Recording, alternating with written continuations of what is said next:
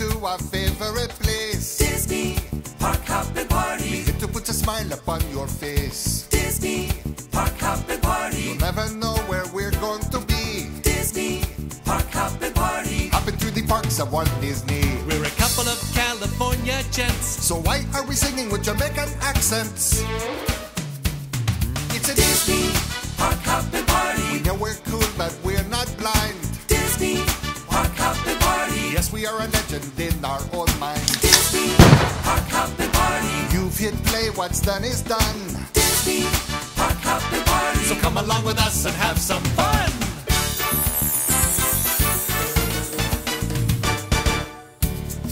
Hi, and welcome to another Park Hoppin' Party. I'm Kilt Boy, and as you can see, Electric Mic isn't with me this time because he's at Stage 9 Entertainment Store in Sacramento for a very special interview with a Disney legend, a man who helped put together some of the most popular attractions in Walt's Magic Kingdom Pirates of the Caribbean and the Haunted Mansion.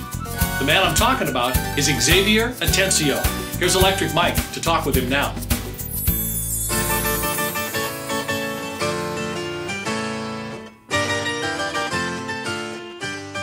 Well, ladies and gentlemen, we are here today with a Walt Disney Imagineering legend. I'm proud to introduce Francis Xavier Atencio. We'll just call him X, uh, and we'll let him tell you all the stuff that uh, that he's done to make all the Disney attractions that he's worked on more memorable. And uh, thank you for talking to us, X. It's it's nice to meet you. My pleasure. Happy to be here.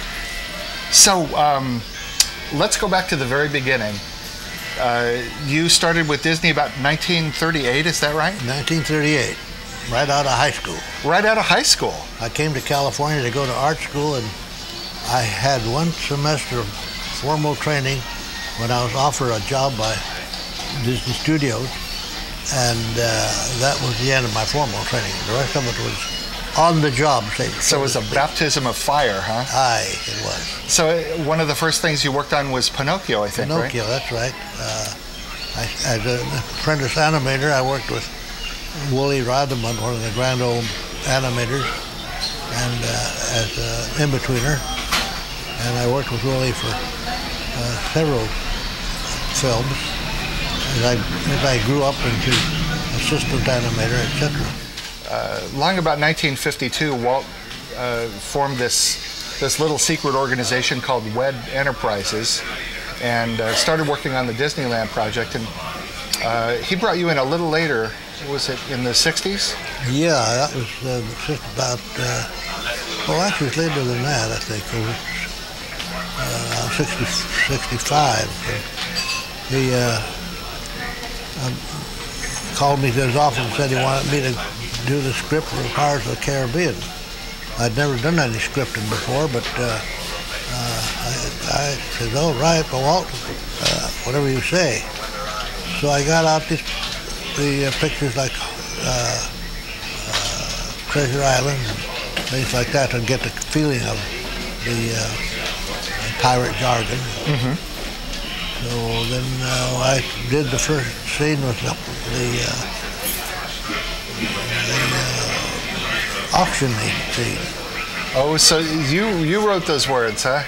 What be I offered for this winsome wench, stout-hearted and corn-fed? Aye. The, I not be sponging for, For rum, for rum, it's it gold. be gold uh, I'm after. Yeah, yeah, Shift your cargo, dearie. Show him your larboard side. right. That's, And Walt, uh, Walt liked what you did on that. yeah, he says, keep going, go ahead. And uh, Wow. So he, uh, you didn't even have any experience being a writer, but he saw that potential in you I guess and apparently, uh, and said, "Come on, X, you can you can do this." yeah. Although when I finished the script, I, uh, our last meeting, I said to Walt, I said, "Uh, I think maybe we could use a, a, uh, a song in this. And I had uh, the lyrics in mind, what I wanted to say, and, and uh, kind of a melody. So I half sang and half recited it. Uh huh. And he says, hey, that's great. Uh, get George to do the music for you. George uh, being uh, George Bruns uh, musical director. And uh, so I got together with George to, to do the, the music, and uh, uh, he was able to, to uh, adapt his thinking of what the melody would be. And, and there you got the yo ho, yo ho, a pirate's life for me. We pillage, we plunder, we rifle and loot, drink up me heart, yo ho.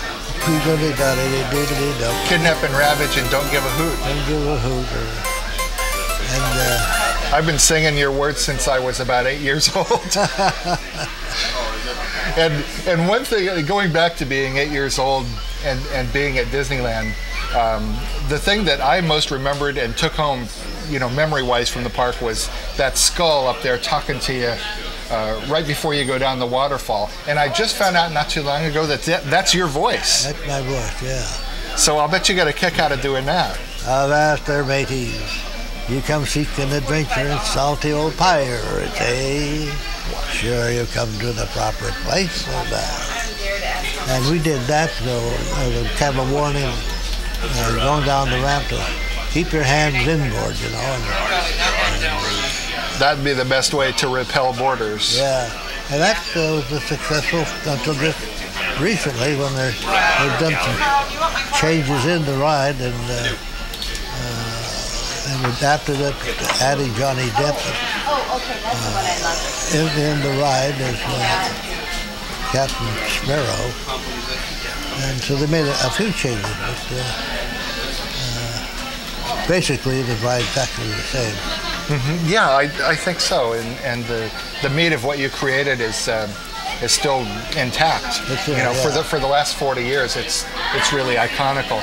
So uh, uh, very quickly, we'll we'll brush over the Haunted Mansion. You also wrote the song "Grim Grinning Ghosts" for the Haunted Mansion. Yeah, that right after uh, uh, Parrot Ride, why uh, the next project I I got into was the, the, the Haunted Mansion, and uh, there again, as I say, was, it was the case of putting a song in every every show I had, and I I did the Grim Grinning Ghost for, for that. Well, see that that says a lot. When Walt didn't want to use the Sherman Brothers, you must have been onto something, and, and he definitely spotted the fact that that you could hit a homer with this thing.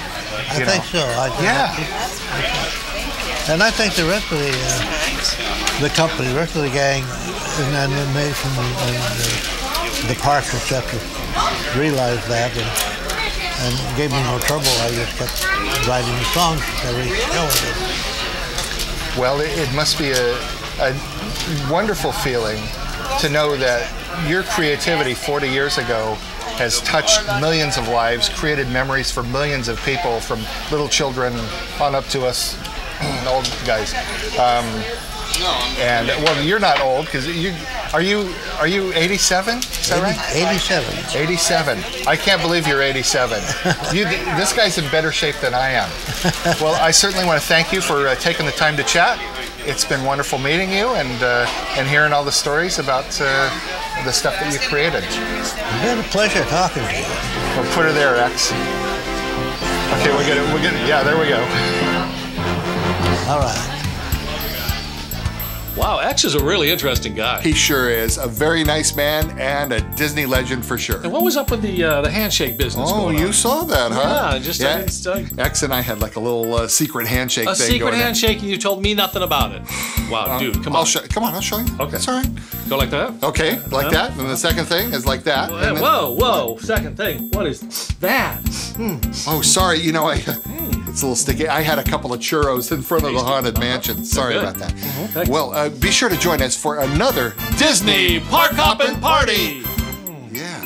Dead men eat no churros. What?